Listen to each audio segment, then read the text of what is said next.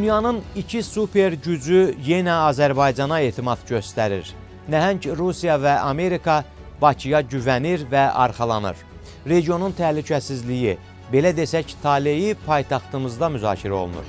Bu bütövlükdə Azərbaycana, onun liderinə olan inamdır. Bugünkü buraxılışda daha nələr görəcəksiniz? Bizim siyasətimizdə əsas məqsəd dövlətimizin möhkəmlənməsi, xalqımızın daha yaxşı yaşamasıdır, sabitliyin təmin edilməsidir. Bütün bu məqsədlərə də biz çatırıq. Azərbaycan prezidentinin dəyişməz hədəfləri və qarşıya qoyduğu vəzifələr. Regionların sosial-iqtisadi inkişafı sahibkarlıq fəaliyyəti üçün əlverişli şərait yaradır. İndi təsəvvür eləyin, əgər rayonlarda işıq olmasaydı, hansı sahibkar orada iş görə bilərdi? Yol olmasaydı, hansı iş görə bilərdi? Sahibkar olaraq e, bizim üçün ən vacib məsələlərdən biri infrastrukturun olmasıdır. Yol infrastrukturunun və bundan başqa kommunal məsələlərə toxunaq, qazın, işığın, suyun olması. İslahatların büdcəyə gətirdiyi əlavə gəlirlər. Bütün imkanlar Azərbaycan vətəndaşlarının rifahına yönəldilir. O pul qəpiyinə qədər getdi insanların maaşına, pensiyasına, təqəvvüdünə, müavinətinə. Bölgənin əvəzedilməz lideri, Necə ki Davos forumu bizi lider kimi görür, biz də lider olmalıyıq. Azərbaycan dünyanın beyin mərkəzlərindən biri olacaq. Ölkəmiz, yəni dünya iqtisadına, dünya transformasiyasına, dünya dördüncü sənaye inqilabının e, həyata keçirilməsində yəni bir beyin mərkəzi kimi böyük bir töhfə verəcəkdir. Nəyi demişəmsə 2003-cü ildə və ondan sonrakı illərdə onu da eləmişəm. Ona görə xalq tərəfindən bizim sözümüzə də, işimizə də böyük inam var. Mən həmişə demişəm ki, bizim sözümüz imzamız qədər olmalıdır onun qüvvəti. Və bu gün bu belədir. İlham Əliyevi xalqın sevimlisinə çevirən səbəblər, bütün vədlərə sadiqlik, xalqın verdiyi güc. Və ölkə başçısı verdiyi sözü mən deyərdim ki, artıqlaması ilə yerinə yetirdi. Sizə baxanda heç adam deyə bilməz ki, 75 yaşına çatmısınız. Həmişə cavan, həmişə gümrah, enerjili fəaliyyət göstərirsiniz. Azərbaycan naminə xidmətə verilən böyük dəyər. Çox sağ olun. Çox böyük şərəfdir. Çox sağ olun. Bilirsiniz ki, mənim çox əziz. Ölkənin ən ali təltifinin yaşatdığı kövrək hisslər. Amma cənab prezident, bu çox böyük mənim üçün mükafatdır. Çox Siz buna layiqsiniz. Görülən işlərə ziyalı qiyməti. Siz də atanızın yolunuzda davam edərək Azərbaycan üçün çox işlər gördünüz. Dünyanın iki super gücü yenə Bakını seçdi. Hesab edirəm ki, Azərbaycanın ə, mövqeyi, həm coğrafi, həm siyasi mövqeyi ə, önəmli yer tutur. Bölgənin təhlükəsizliyi Azərbaycanda müzakirə olunur. sülhün həm Qafqazda, həm dünyada təmin olunmasına töhfələr verir. Ona görə də Azərbaycan təsadüfi seçilməyib. Səbəb ölkəmizə olan güvəndir. Ki, Azərbaycan bu günləri Avropaya çıxışı var. Böyük Avropada e, böyük nüfuza malikdir. Prezident İlham Əliyevin siyasətinin təməlində ilk gündən Azərbaycanın inkişafı, müasirləşməsi, vətəndaşların rahat və problemsiz, firavan həyatının təmin edilməsi dayanıb. Odur ki, elə hakimiyyətə gəldiyi dövrdən İlham Əliyev ilk növbədə regionların sosial-iqtisadi inkişafı ilə bağlı dövlət proqramlarının icrasına başladı. Ötən illər ərzində artıq bir neçə belə proqram tam uğurla başa çatdırılıb. Hazırda Prezident İlham Əliyevin elan etdiyi 4-cü dövlət proqramının icrası davam etdirilir. Azərbaycan Prezidenti hədəflərə çatmaq üçün təkcə fərman və sərəncamlar verməklə kifayətlənməyib. Görülən işlərlə bağlı müzakirələr aparmaq, hesabat tələb etmək, qarşıya qoyulan vəzifələri ciddi nəzarətdə saxlamaq Prezident İlham Əliyevin əsas iş prinsiplərindən olub. Ötən həftə prezident bu ənənəsinə növbəti dəfə sadiq qalaraq regionların 4-cü sosial-iqtisadi inkişafı dövlət proqramının icrasının birinci ilinin yekunlarını müzakirə etmək üçün geniş müşavirə keçirdi. Prezident bir il ərzində görülmüş işlərdən danışdı. Bütün sahələrdə əldə olunan geniş miqyaslı uğurlardan söz açdı. Dövlət orqanları məmurlar qarşısında ciddi tapşırıqlar və tələblər qoydu, tövsiyələr verdi. Regionların sosial-iqtisadi inkişafı Azərbaycan dövləti tərəfindən, Azərbaycan iqtidarı tərəfindən əsasən 3 istiqamət üzrə aparılır. Birincisi ə, infrastruktur layihələrinin təşkili ilə bağlıdır.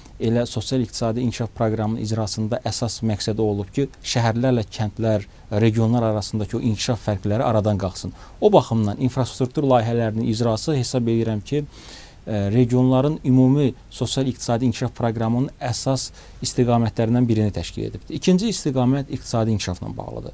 Bu da çox önəmli bir detaldır. Fabriklərin, zavodların açılması, müxtəlif istehsal müəssisələrinin işə salınması, bu müəssisələrin işə salınması isə həm də iş yerlərinin açılması deməkdir. İqtisadiyyatın artım tempi də elə regionların sosial-iqtisadi inkişaf proqramının əsas istiqamətlərindən birini təşkil edibdir. Üçüncü istiqamət hesab edirəm ki, vətəndaşların dövlət xidmətlərinə əlçatanlığı ilə bağlıdır və sonuncu müşavirədə də cənab prezident xüsusi olaraq vurğuladı ki, bu gün istər asan xidmət mərkəzləri, istər dost mərkəzlərinin açılması elə vətəndaşlara xidmət məqsədi daşıyır. Bu bir reallıqdır ki, hər bir uğurun, inkişafın təməlində xalqın iradəsi, vətəndaşların dövlətə, iqtidara olan inam və etimadı və bütün bunların nəticəsi olaraq ölkəmizdəki sabitlik dayanır. Dünyada narahatlıq doğuran ciddi proseslər, yeni münaqişə ocaqları, gərginlik fonunda Azərbaycan təhlükəsizlik simvolu, sabitlik adasıdır. Ən böyük nemət olan əminamanlığın başlıca səbəblərindən biri də heç şübhəsiz ki, düzgün və qətiyyətli siyasət, çevik liderlik qabiliyyətidir. Azərbaycan uzun illər ərzində sabitlik yolu ilə gedir. Azərbaycanda mövcud olan sabitlik Azərbaycan xalqının iradəsi ilə təmin edilir. Bizim apardığımız siyasət xalq tərəfindən dəstəklənir. Siyasət konkret işlərlə ölçülür və bizim siyasətimizin təməlində konkret işlər dayanır. Real inkişaf dayanır. Söz yox, əməl və verilən hər bir söz həyatda öz əksini tapır. Ona görə də xalq tərəfindən bizə göstərilən etimad yüksək səviyyədədir və sabitliyin, əminamanlığın əsas şərtləri məhz budur. Əlbəttə ki, sabitlik varsa deməli iqtisadiyyat da inkişaf edəcək, gəlirlər də artacaq, infrastruktur da müasirləşəcək, insanların rifahı da ildən ilə yaxşılaşacaq. Çünki prezidentin yeganə hədəfi nəyin bahasına olursa olsun, bu siyasəti daha da irəliyə aparmaqdır. Nə qədər inkişaf eləyib, nə qədər irəli gedib hər tərəfdən, hər tərəfdən, iqtisadi tərəfdən, bank sistemi tərəfindən, qeyri daxil mən yenə deyirəm, axır deyək bu möhtərəm prezidentimizin bu yol xəritəsində qeyd elədiyi turizm axır vaxtlar turizm nə qədər inkişaf edib. Bu da inkişafdır. Əgər e, yenə bir-birinə bağlıdır. Bu inkişaf yenə təhlükəsizliyə bağlıdır. Əgər burada e, təhlükəsizlik səviyyəsi istədiyim olunan səviyyədə olmasaydı, sözsüz ki, bir turist bura gəlməzdi. Təkcə 2019-cu ildə ölkəmizdə bir 5 illiyin işi görülüb, uğuru qazanılıb, nəticəsi əldə olunub. Baxın, ötən il Azərbaycanın siması daha da yenilənib, nəhəng infrastruktur layihələri reallaşıb, insanların sosial rifahı üçün bir neçə sosial paket elan edilib. Azərbaycanda həm iqtisadi, həm siyasi, həm də köklü struktur islahatları aparılıb. Belə desək, ölkəmiz islahatların yeni mərhələsinə qədəm qoyub. Söz yox ki, bu islahatlar yalnız xalqın, dövlətin maraqlarına xidmət edir. İslahatlar ardıcıl şəkildə aparılır. Bu düşünülmüş siyasətdir. Sadəcə olaraq biz indi islahatların yeni mərhələsinə qədəm qoymuşuq. Ona görə həm iqtisadi sahədə, həm siyasi sahədə aparılan islahatlar xalqımızın maraqlarına, dövlətimizin maraqlarına xidmət edir. Eyni zamanda çox ciddi struktur islahatları aparılmışdır və kadr islahatları aparılmışdır. Bütün bunlar bir də onu göstərir ki, bizim siyasətimizdə əsas məqsəd dövlətimizin möhkəmlənməsi, xalqımızın daha yaxşı yaşamasıdır sabitliyin təmin edilməsidir. Bütün bu məqsədlərə də biz çatırıq. Şübhəsiz ki, Azərbaycanın bu uğurları dünyanın da diqqətindən yayınmır. Dünyanın nüfuzlu maliyyə qurumları, tanınmış reytinq agentlikləri ölkəmizin sürətli inkişafını yüksək qiymətləndirirlər. Azərbaycan uğurları ilə dünyanın ən inkişaf etmiş ölkələri sırasında ilk yerlərdə qərarlaşır. Bugün Azərbaycan dünya miqyasında çox böyük hörmətə malik bir ölkədir. Həm siyasi müstəvidə, həm iqtisadi sahədə, e, biznesin inkişafı baxımından və mənim bu yaxınlarda 14-cü dəfə e, Davos Ümumdünya İqtisadi Forumunda iştirakım və forum çərçivəsində apardığım danışıqlar və iştirak etdiyim tədbirlər bir də göstərir ki, Azərbaycana həm böyük maraq var, həm böyük rəğbət var. 20-dən çox görüş keçirildi və onu deyə bilərəm ki, bütün görüşlər qarşı tərəfin e, təşəbbüsü ilə həyata keçirildi. Yəni ona görə bunu deyirəm ki, doğrudan da ölkəmizin inkişafına maraq böyükdür. Azərbaycanda iş görmək istəyən e, şirkətlərin sayı artır. Prezidentin gündəliyində ilk yerdə dayanan vəzifə isə təbii ki, Azərbaycan vətəndaşlarının daha yaxşı yaşamasıdır. Bunun üçün nə lazımsa edilir. Bütün imkanlar səfərbər olunur. İlham Əliyev əldə olunan bütün vəsaitləri, qazancları birbaşa insanların sosial rifahına yönəldir. Odur ki, öz vətəndaşına böyük dəyər verən, insanını düşünən Azərbaycan qədər ikinci bir ölkə çətin ki tapılsın. Bax, budur Prezident İlham Əliyevi fərqləndirən, xalqın sevimlisinə çevirən səbəblər. Deyə bilərəm ki, yaxın ətrafda bu cürə sosial təşəbbüs göstərən ikinci ölkə mən görmürəm. Yoxdur. Əgər varsa, qoy mənə desinlər. Yoxdur. Biz bunu e, ona görə edirik ki, hesab edirik ki, bu düzgündür. Azərbaycan xalqı ildən ilə daha yaxşı yaşamalıdır və bizim artan iqtisadi gücümüz ölkəmizin güclənməsinə ilk növbədə və xalqımızın rifah halının yaxşılaşmasına yönəlməlidir və biz bunu edirik. Ona görə bu sosial sahədə görülmüş işlər e, bir də bizim siyasətimizi əks etdirir, bizim gücümüzü göstərir və bundan sonra da bu sahə daima diqqət mərkəzində olacaqdır. Azərbaycanda son illər görülən işlər göz önündədir. Regionların siması büsbütün dəyişib. Ən yeni infrastruktur yaradılıb. 1000 kilometrlərlə, hətta ucqar dağ kəndlərinə belə müasir yollar çəkilib. Nəqliyyat və dəmir yolları infrastrukturu yenilənib. Ekoloji layihələr reallaşıb, yeni və müasir parklar salınıb, çox saylı məktəb, uşaq bağçaları, xəstəxanalar tikilib. Qazlaşdırma, elektrik enerjisi ilə təminat yüksək səviyyəyə gətirilib. İçməli su, suvarma imkanları artırılıb. Kənd təsərrüfatında, aqrar sektorda da inanılmaz nəticələr qazanılıb. Bu sahədə yüksək məhsuldarlıq əldə edilib. Nəticədə ölkənin ixrac potensialı güclənib. Sahibkarlıq fəaliyyəti ilə məşğul olan fermerlərə dövlət tərəfindən bütün lazımi dəstək göstərilib. Cənab Prezident orada çox qətiyyətlə bildirdi ki, e, sahibkarların biz yanındayıq, dövlət orqanları hər zaman sizə dəstək olmalıdır. Amma siz də kölgə iqtisadiyyatından uzaqlaşmalısınız. 2020-ci ildə ə, mən inanıram ki, ə, biz sahibkarlar olaraq tamamilə ə, bu xoşa gəlməz hallardan uzaq duracağıq. Ə, muzlu və işçilərin ə, belə deyək, əmək müqavilələrinə uyğun şəkildə, qanuna uyğun şəkildə işlədəcəyik və istehsal etdiyimiz məhsulları və ölkəmizdə iqtisadiyyatımızın qeyri-neft sektorunun inkişafı üçün öz töhfəmizi verəcəyik. Gördüyünüz kimi cənab prezidentin şəxsən öz ölkə rəhbəri olaraq sahibkarlığın inkişafı üçün sahibkarlarla şəxsən dialoqun qurulmasında iştirak edir. Dövlət sahibkarın yanındadır Və biz sahibkar da olaraq da arzum budur ki, bütün sahibkarlar üçün biz də dövlətimizin yanında olaq. Sahibkarlıq da daha da aktivləşməlidir. E, yəni passiv e, sürətdə dövlətdən hər şey gözləmək də olmaz. Eyni zamanda e, dediyimiz kimi orta kiçik və orta sahibkarlığın inkişafı ilə də bağlı ölkə dövlət tərəfindən böyük proqramlar həyata keçirilir. Həm regionlarda mərkəzlər yaradılır.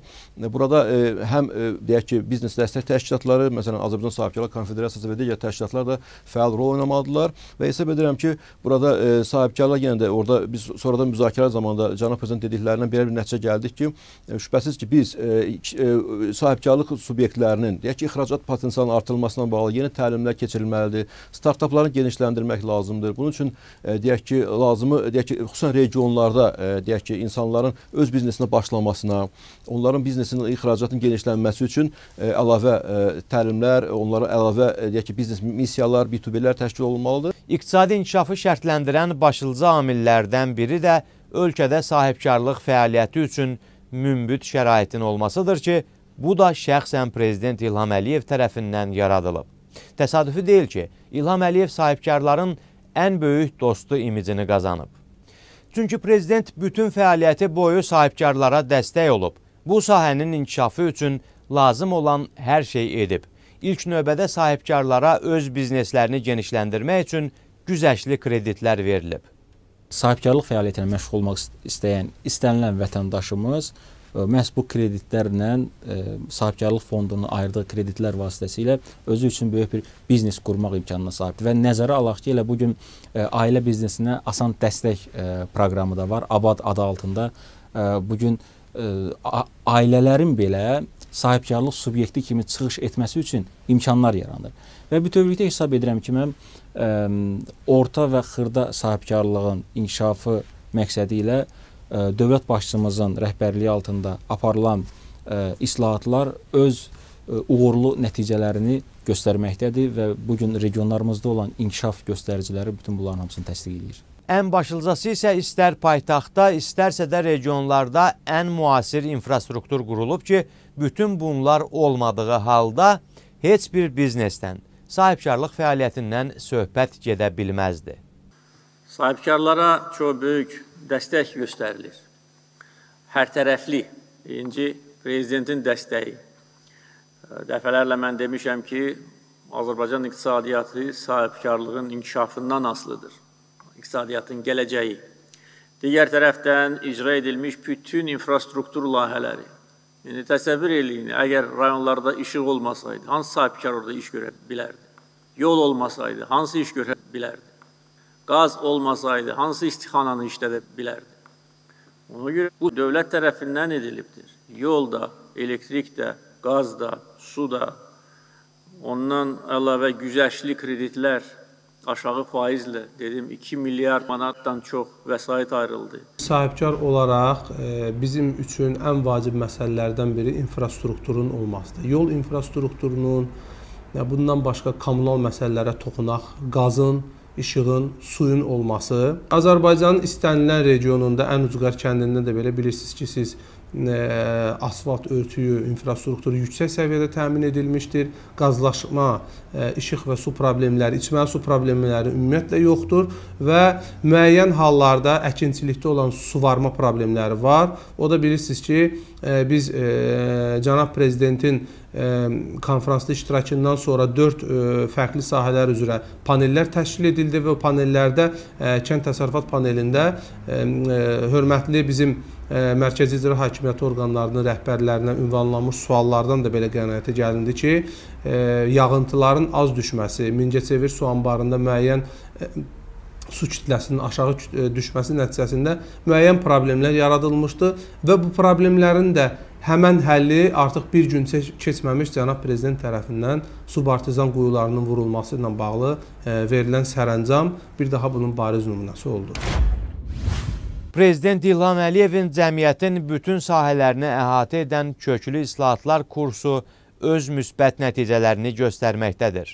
Məsələn, biz ötən il vergi və gömrük orqanlarında aparılan dərin islahatların, yaradılan şəffaflığın nəticələrini aydın şəkildə hiss edirik. Prezidentin şəxsi nəzarəti və ciddi tələbkarlığı ilə bu orqanlar büdcəyə böyük məbləğdə əlavə vəsait cəlb edə bildi.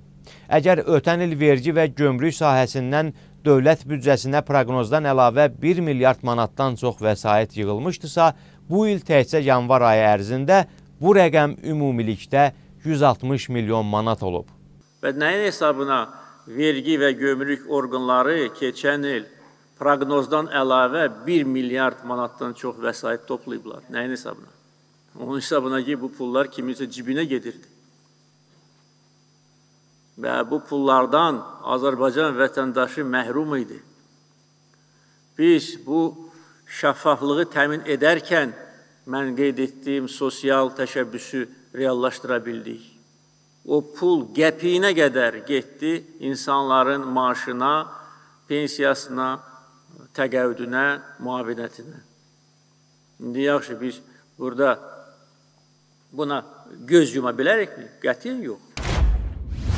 Azərbaycanın son illər əldə etdiyi daha bir böyük uğur turizmin inkişafı olub. Bu nəticəni yaradan birinci səbəb yenə də şəxsən Prezident İlham Əliyevin bu sahəyə ayırdığı investisiyalardır. Ölkədə turizm infrastrukturu qurulub, turistlərin rahat istirahəti üçün ən müasir şərait yaradılıb. Ölkədə sabitlik var və xarici qonaqlar Azərbaycanda özlərini öz evlərindəki kimi hiss edirlər. Bu da ölkəmizə olan marağı artırır. Gələn qonaqların sayı ildən ilə çoxalır.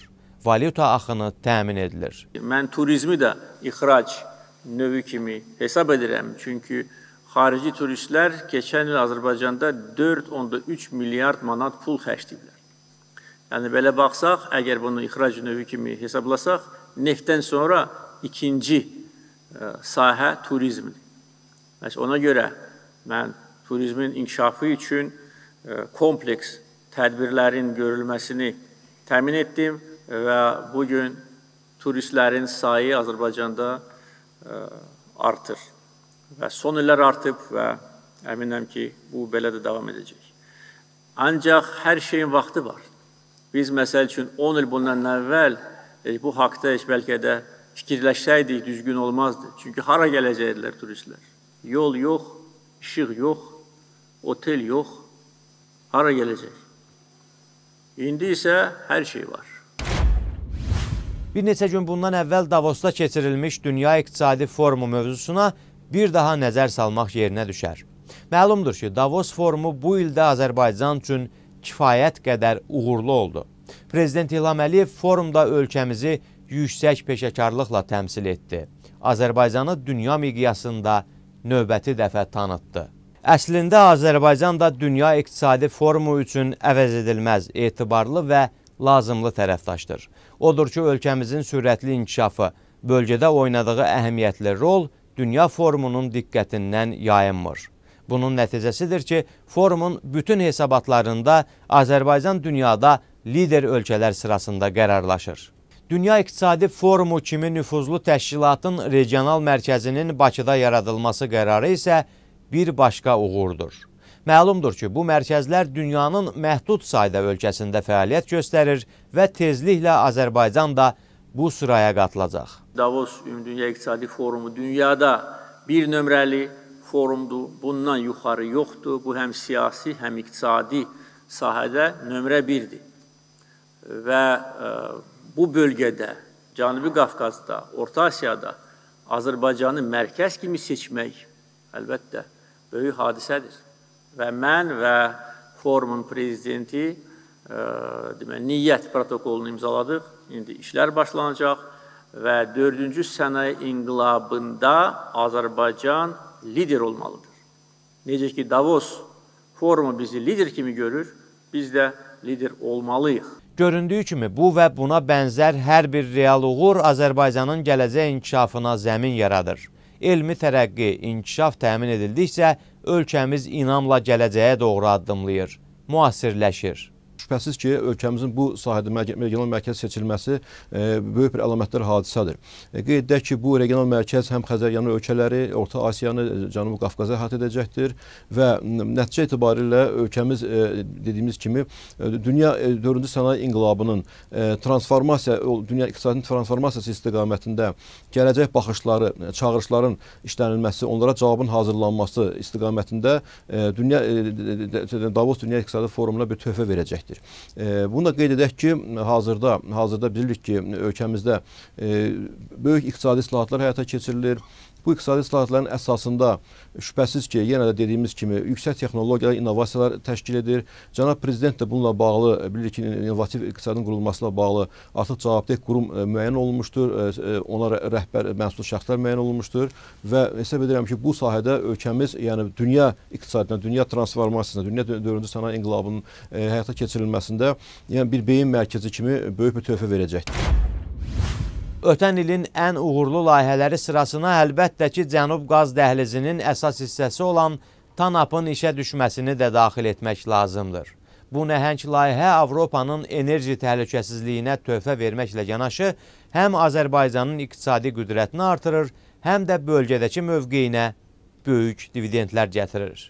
Əldə edilən bütün qazanclar isə əlbəttə ki, Azərbaycan vətəndaşının sosial rifahına, xalqın mənafeyinə yönəldilir. Çünki bu, Prezident İlham Əliyevin ən başlıca hədəfidir.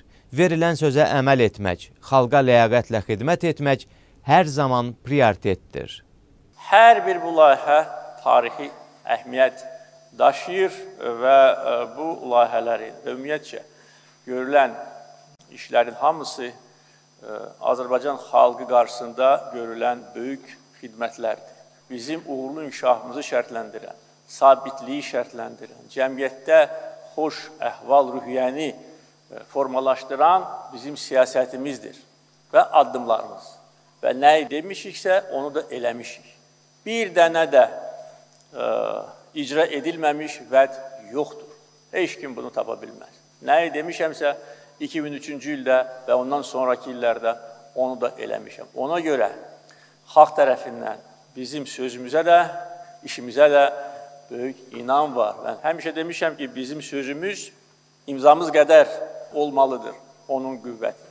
Və bu gün bu belədir. Cənab İlham Əliyev hələ 2003-cü ildə prezident seçilməzdən əvvəl söz vermişdi ki, onun fəaliyyətinin başlıca istiqamətini regionların sosial-iqtisadi inkişafı təşkil edəcək və ölkə başçısı verdiyi sözü mən deyərdim ki, artıqlaması ilə yerinə yetirdi və biz ötən ə, o 3 dövlət proqramının və sonuncu dövlət proqramının ilk ilinin icrasının yekunlarına nəzər salsaq, görərik ki, həqiqətən də böyük işlər görülübdür.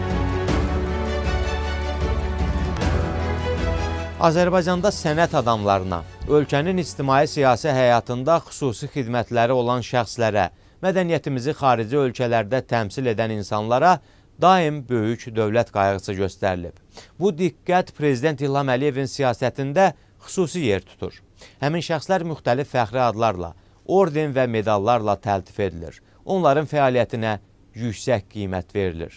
Bu ali diqqət və qayğının nəticəsi idi ki, ötən həftə Prezident İlham Əliyev Azərbaycan mədəniyyətinin inkişafında böyük xidmətlərinə və uzun müddətli səmərəli ictimai-siyasi fəaliyyətinə görə Polad Bülbüloğluna ən ali dövlət təltifi olan Heydər Əliyev ordenini təqdim etdi. Mən sizi qarşıdan gələn yubileyiniz münasibəti ilə təbrik etmək istəyirəm. Sizə baxanda heç adam deyə bilməz ki, 75 yaşına çatmışsınız. Həmişə cavan, həmişə gümrah, enerjili fəaliyyət göstərirsiniz. Siz böyük sənətkar, böyük bəstəkar, böyük ifaçısınız. Siz Azərbaycan ə, mədəniyyətinin inkişafına böyük töhfə vermişsiniz və deyə bilərəm ki, Azərbaycan musiqi mədəniyyətində özünə məxsus və təkrar olunmaz iz buraxmısınız. Nəinki Azərbaycan miqyasında, hesab edirəm ki, dünya miqyasında siz ən görkəmli bəstəkarlardan birisiniz. Qoy mən yenə söhbət açım ilk baharımdan Nəğməm ilə bir keçim öz diyarımdan.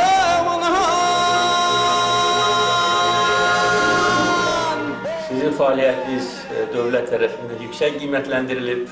Siz Azərbaycanın e, bir neçə e, mötəbər mükafatları ilə təltif olunmusunuz. Ancaq bu mükafatların arasında ən ali mükafat, ən ali orden Heydər Əliyev ordenidir və mənim sərəncamımla siz bugün Heydər Əliyev ordeni ilə təltif olunursunuz və icazə verin bu ordeni sizə təqdim edim. Böyük şərəfdir. Çox sağ olun. Cənab Prezident. Çox sağ olun. Çox böyük şərəfdir. Çox sağ olun. Heydər Əliyev bilirsiniz ki, mənim çox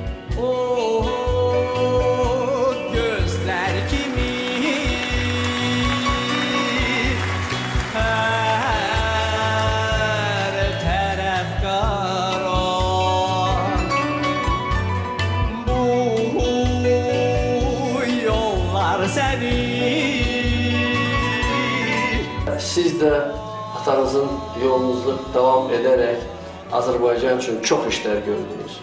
İnanın ki, bax mən bu son günlər Bakıdayam, Azərbaycan, Azərbaycanda qonaqlar gəlir. Hamısı Bakını görəndə bizim bu yeni küçələri, binaları, qədim e, Bakıda saxlanılıb, yeni binalar da tikilib, hamı heyran olur Bakıya. E, bu sizin Mehriban xanımın diqqəti altında və nəzarəti altında bunlar hamısı olunub. Mən ə, sizə də dərin təşəkkürümü bildirmək istəyirəm. Amma cənab prezident, bu çox böyük mənim üçün mükafatdır. Çox Siz böyük. buna layiqsiniz. Как жили мы, борясь, и смерти не боясь, так и отныне жить тебе и мне. В небесной вышине и в горной тишине,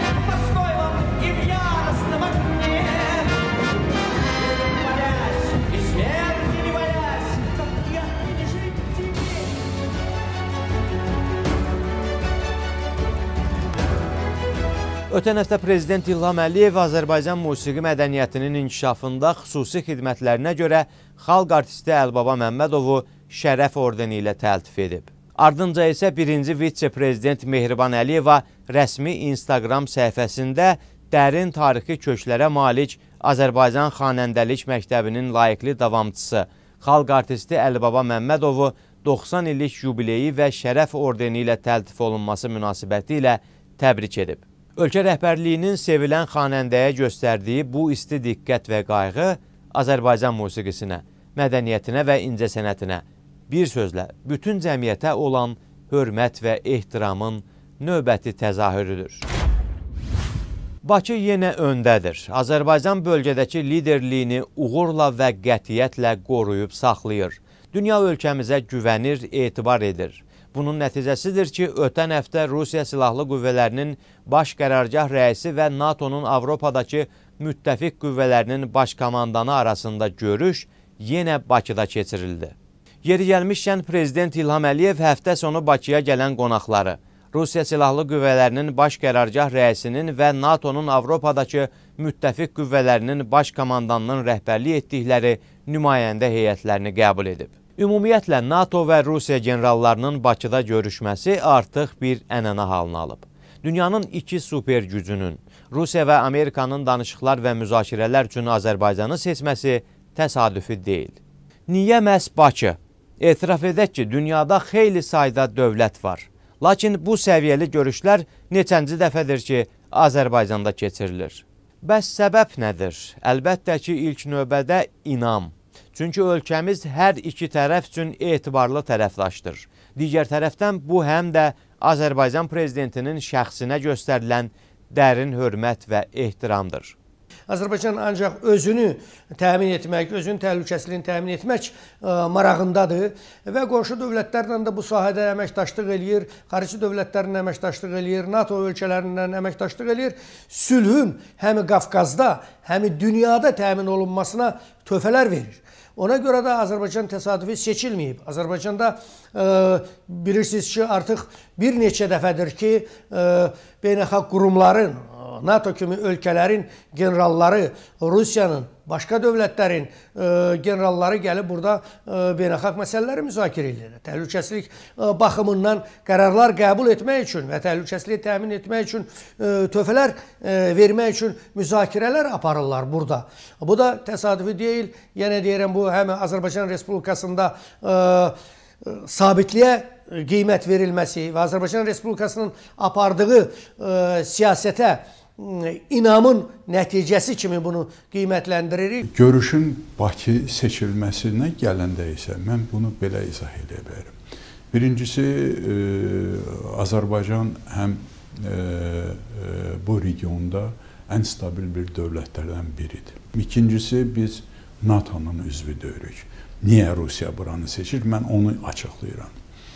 Üçüncüsü, e, Amerikaya gələndə Azərbaycan bir stabil dövlət kimi mən bəxtlarda onu e, qeydə aldım və qonşu münasibətlərində Azərbaycan demək olar ki, e, möhtərəm prezidentimizin apardığı düzgün xarici siyasət durur. Bu əsas amillərdən biridir.